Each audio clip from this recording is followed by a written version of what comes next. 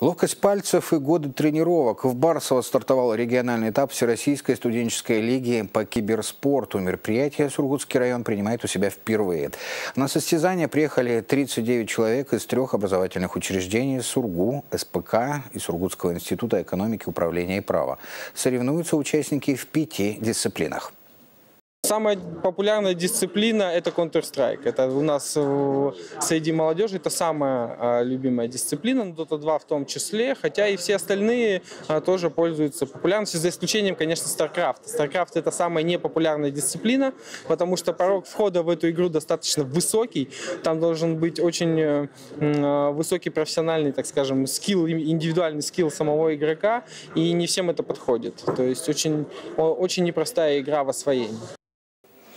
Команда, которая наберет наибольшее количество очков по всем дисциплинам, получит путевку на этап Уральского федерального округа. Среди участников есть и ребята из Сургутского района.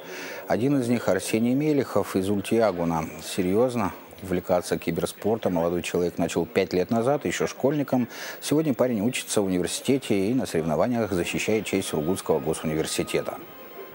Вообще я игрок по большей части такой одиночный. Вот, то есть я даже это играл, как я говорил, в StarCraft, это тоже одиночная игра, то есть там матч один на один. Вот, не знаю, мне как-то не часто было трудно собрать хорошую команду, поэтому меня больше привлекали одиночные игры, потому что, ну, как бы так просто сложилось обстоятельства. Вот Крестом мне нравится, потому что она такая более стратегическая, вот, и мне нравится, что там можно как-то подумать, можно как-то переиграть на каких-то, скажем, своих интеллектуальных способностях соперника.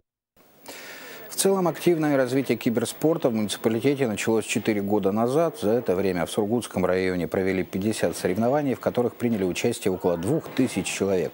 Сегодня администрация взяла курс на цифровизацию традиционных видов спорта, хоккея, стрельбы и шахмат.